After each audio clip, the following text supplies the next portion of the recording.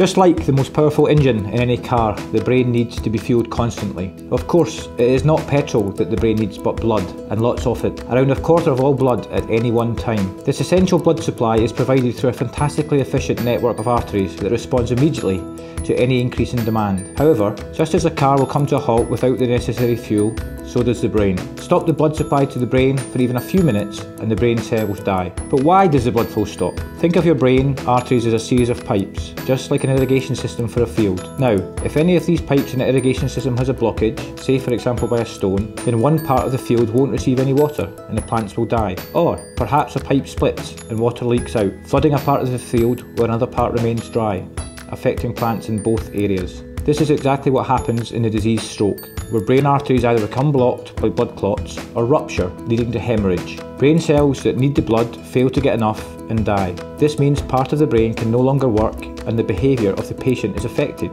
Sometimes they are unable to move their arm and other times they cannot speak. In severe cases, the stroke causes damage to so many brain cells or parts of the brain critical for life that unfortunately the patient dies. At present, Stroke is the second leading cause of death across the whole world. So what can we do about stroke to prevent people dying or being left disabled?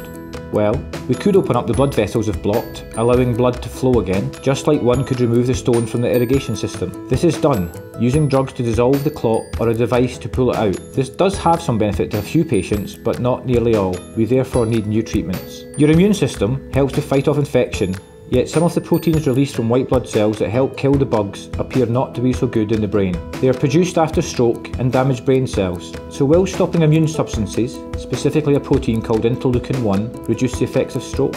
Well, using animal models of stroke it appears so. Blocking IL-1 from having an effect through a drug called interleukin-1 receptor antagonist, or IL-1RA, reduces the number of dead brain cells in rats and mice who have stroke induced, and also improves their functional recovery. Can it do the same in humans? Early stage clinical trials suggest it might, offering real hope that we have a new treatment for stroke, which is widely available. Confirmation of this will hopefully come from large clinical studies in the near future. Excitingly, most of this work on interleukin-1 receptor antagonists has been carried out here at the University of Manchester. My name is Professor Stuart Allan. I'm Professor of Neuroscience in the Faculty of Life Sciences at the University of Manchester.